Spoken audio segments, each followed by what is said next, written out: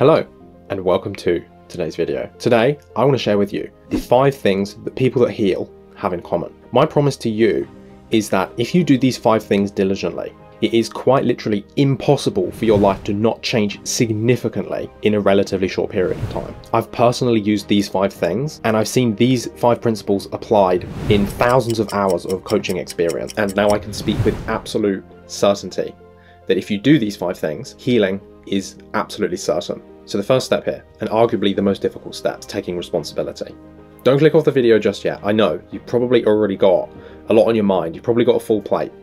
But hear me out. When I talk about taking responsibility here, what I really mean is that the individual takes full responsibility for their health outcomes. This means that they're not waiting for anybody to come and save them. They are fully committed and they see themselves as completely responsible for the results that they get. When working with a practitioner, I see this all the time. You get two groups of people, some that come to work with a practitioner and they think that the practitioner is going to be the one to save them. They think that the answer is going to come from the practitioner. They think that the healing is going to come from the practitioner and they want to be saved. And one of the fundamental principles of healing is the reclamation of one's power. And you can see in this dynamic, the power isn't in the individual, the power is in the practitioner, and therefore healing cannot happen. So, in my experience, a good practitioner is always trying to put the power back in the individual.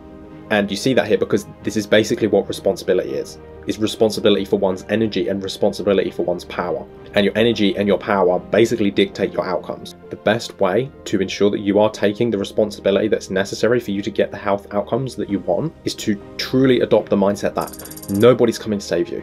Nobody's going to figure this out for you.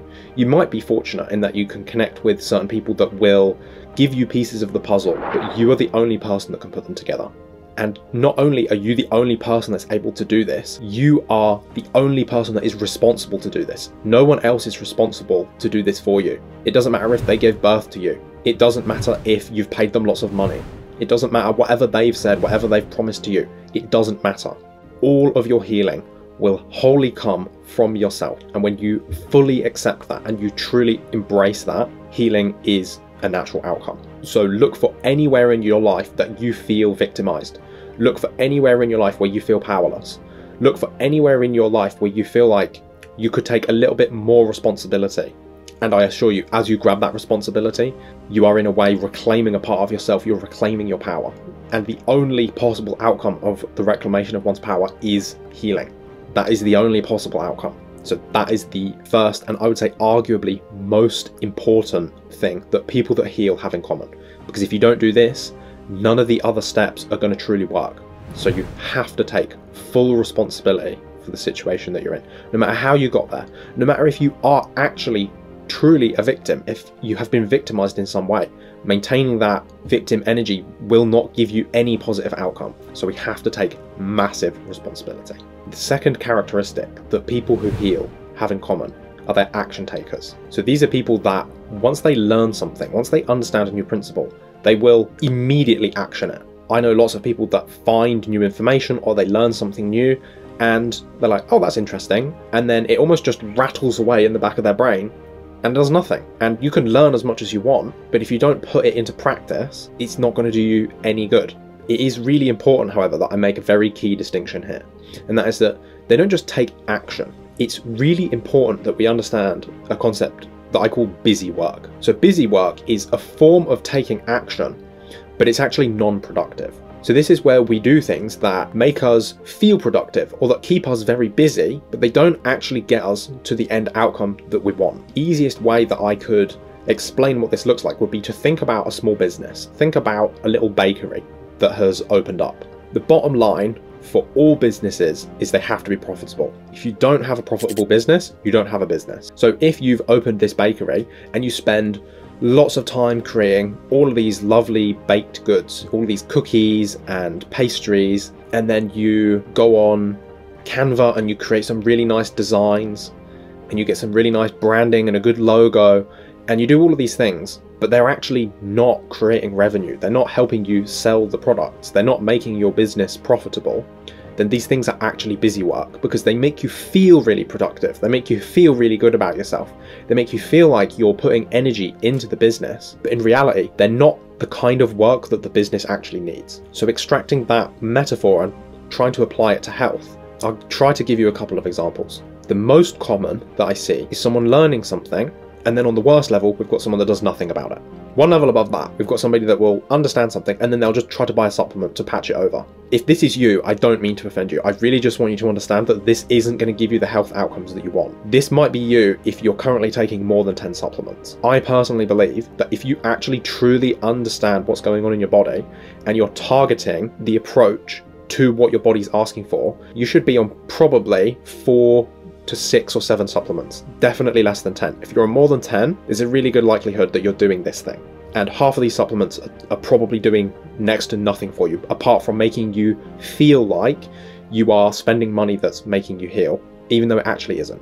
Another thing would be learning something and trying to find a way to action that information, but then hitting a singular roadblock and then just giving up. I see this very often with probiotics. A lot of people are very sensitive to probiotics, and that's because they're so important, and it's because they address so many areas of dysfunction in the body and in the digestive system. The thing is, because so many people need them, and because the gut is such a biochemically active environment, and because people are in such a deep and dire need of these, often the probiotics have very strong, very significant reactions. And this makes people want to just stop taking them, just give up and never take them.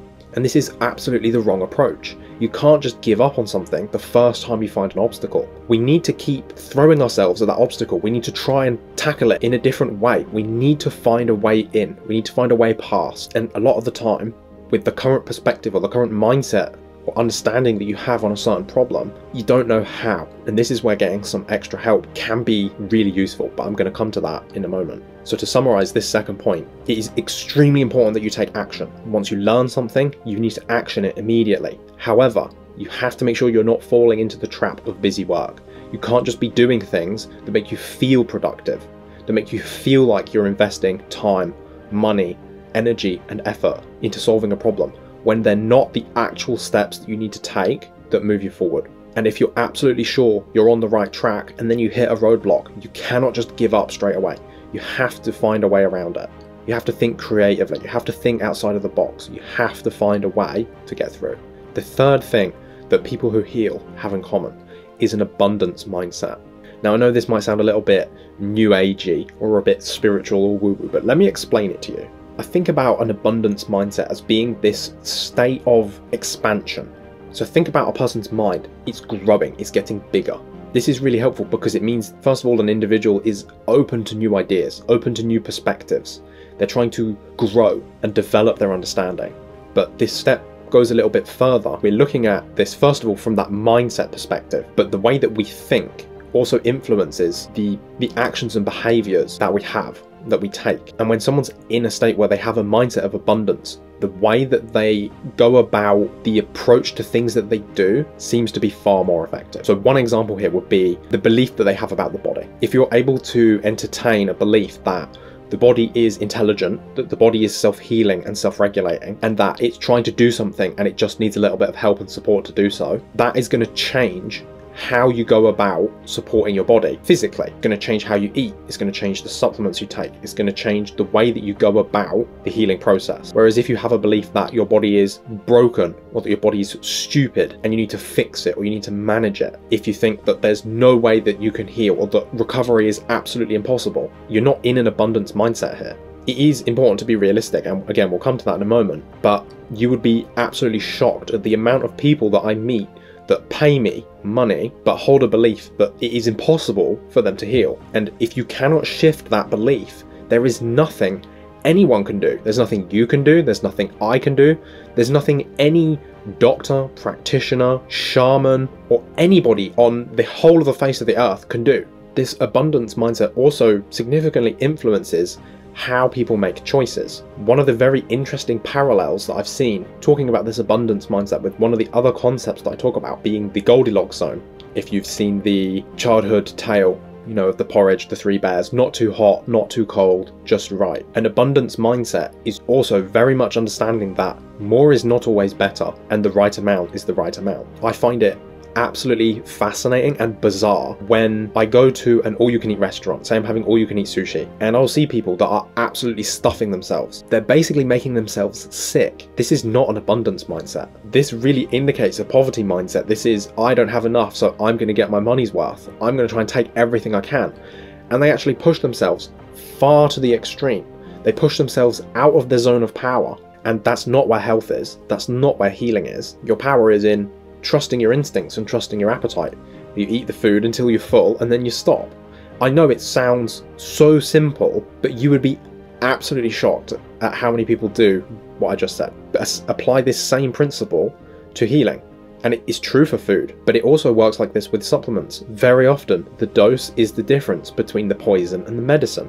And speaking about probiotics earlier, a lot of people are, oh, more is better, I'm going to jump in at a massive dose. And it's like, that's not how healing works. And I find that one of the key principles of this abundance mindset is truly understanding that the right amount is the right amount, and more is not necessarily better. The final piece of this abundance mindset is that these people tend to trust their guts a little bit better. So if they have a good feeling about something, then they again they will take responsibility and take massive action. So they'll just trust their instincts and go. And I think this is one reason why we have an epidemic of gut problems. People don't trust their guts anymore. And if you can't trust your gut, you're not going to take the actions you need to heal your gut, and you're going to have gut problems. The fourth thing that people who heal have in common are realistic expectations. Now, I'll tell you, I want to get full, complete, total healing in a click of my fingers just as much as the next person. But I also know that that's not a realistic expectation. I had one of the most severe and chronic health problems of anyone I have ever met. And I was stuck in a state of dysfunction, and I'm talking maximum level dysfunction. My digestive system did not work, my immune system was turned off, I was disabled and in bed. My body literally, at that stage, was disabled in so many of its functions, and I was in that maximum state of dysfunction for approximately three years. The fact that I can even sit in front of a camera and record this video, still absolutely mind blowing. I think with having adopted realistic expectations, I still don't think I should be able to do this today, but I can. Here I am. And not only that, I can eat a whole bunch of different foods. I can go to the gym and work out. I can live a nomadic lifestyle and travel around the world. I got married and I do this as my life. So you have to really think about where you've been and where you're going and what that's going to look like realistically. But I don't want you to use this point as an excuse to suffer unnecessarily. One of the things that I've experienced is that a lot of the symptoms that people have on a daily basis are symptoms that they have attributed to, let's say, chronic toxicity. And they say, oh, this symptom's never going to go away until I've completely removed all of the heavy metals, all of the plastics, until I'm eating 100% clean for 10 years. And being completely honest, this just simply is not true. More often than not, symptoms expressing are indicators of dysfunction. They are simply your body saying, we are trying to complete this metabolic process and it is not able to be completed. Therefore, we have a symptom. So if you're able to go in and figure out what this dysfunction is and correct it, you can often get a significant amount of symptom relief very, very quickly. I think that this mindset, this understanding of how symptoms are indicators of dysfunction is one of the main reasons that in my one-to-one coaching programs, I'm able to help my clients attain a 60 to 80% symptom improvement in 12 weeks or less. This isn't because they've healed in 12 weeks.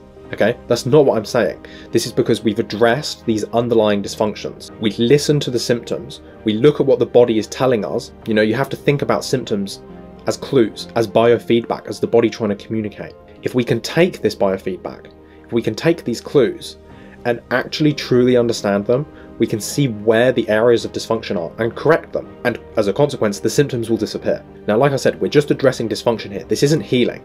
This is, in a way, short term symptom relief.